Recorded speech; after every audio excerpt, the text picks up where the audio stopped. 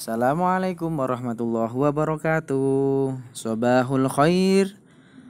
Kaifa haluk? Alhamdulillah fi siha wa afiyah. Syukron afwan. Anak-anak kelas 3 pada minggu materi kedua ini Rabu 5 Agustus 2020 kita bertemu lagi ya dalam pembelajaran daring pada semester kali ini masih pada bab 1 tentang al-mawad ad-dirosiyah. Ya. Ini al-mawad ad-dirosiyah. Materi pelajaran ya.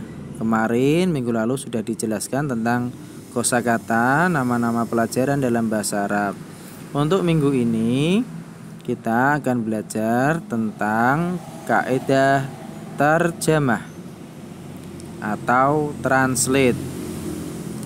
Nah, susunan dalam perlu kalian ketahui susunan kalimat dalam bahasa Arab itu ada tiga. Yang satu pertama kalimat verbal atau dalam bahasa Arab populer disebut dengan jumlah fi'liyah. Dua kalimat nominal atau bisa juga disebut jumlah ismiyah. Dan yang ketiga yaitu kalimat tanya atau biasa disebut dengan istifham. Nah, apa sih kalimat verbal, nominal, dan kalimat tanya? Nah, Pak Baik akan menjelaskan tentang poin pada nomor tiga saja kalimat tanya. Untuk poin satu dan dua hanya wawasan sekilas ya untuk kalian semua. Semoga nanti bermanfaat. Nah, kalimat verbal atau jumlah fi'liyah itu terdiri dari fi'il atau kata kerja, kemudian disusul dengan fa'il atau pelaku, disusul dengan maf'ul atau objek, dan yang terakhir keterangan. Sesuai dengan kebutuhan kalimat. Kalau dalam rumusnya kita bisa ambil kesimpulan predikat, subjek, objek, keterangan PSOK. Contoh ada di kalimat LKS halaman nomor 9 nomor 1 bagian kedua. Ada kalimat nadrusu fil madrasah. Nah, nadrusu fil madrasah itu dari kata darosa nahnu fil madrasah darosa fiil nahnu fa'il fil madrasah keterangan. Jadi di sini tidak ada maf'ul atau objek. Kemudian sekilas tentang jumlah ismiyah yaitu kalimat yang tersusun dari isim satu atau yang disebut dengan mubtada kata awal dan disusul dengan isim kedua atau khobar penjelas. Nah Biasa kalau dalam bahasa Indonesia sering kita kenal dengan pola DMMD. Ada di LKS halaman 9 nomor 1 bagian ke-1. Ada contoh hadhihi madrasah. Hadhihi ini madrasatun sekolah. Jadi di sini tidak ada subjek, predikat, objek keterangan, tapi polanya adalah DM MD dijelaskan menjelaskan atau menjelaskan dijelaskan. Nah, kita masuk ke bagian inti yaitu istifham atau dalam bahasa Indonesia, dalam bahasa Inggris juga sering dikenal dengan 5W1H. Digunakan untuk bertanya dengan memberikan tanda tanya di akhir kalimat.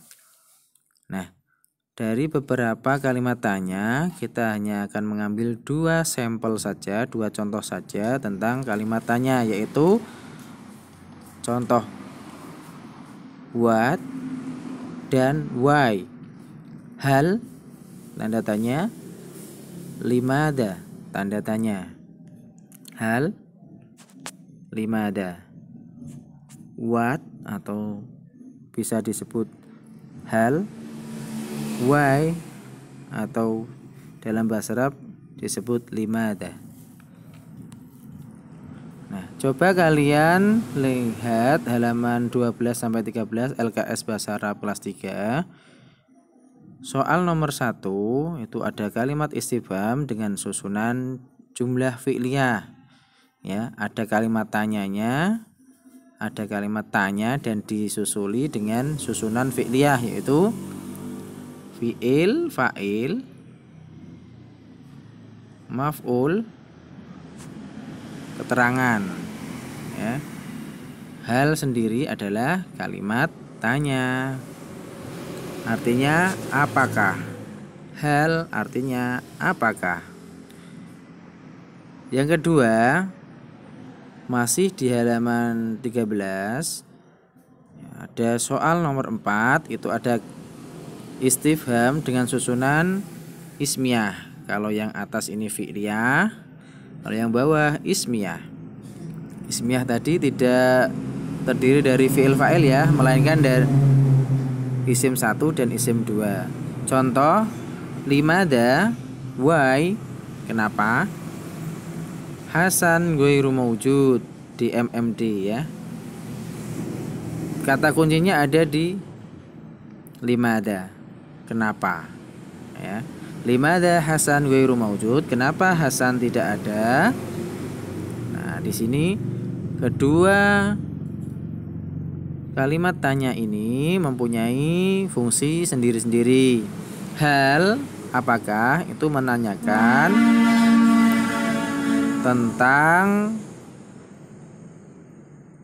apa kegiatan yang akan dilakukan. Sedangkan limada menanyakan tentang alasan kenapa ya.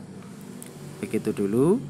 Nah, silahkan nanti kalian mencoba untuk menggunakan hal kalimat tanya dan limada kalimat tanya hal what limada why.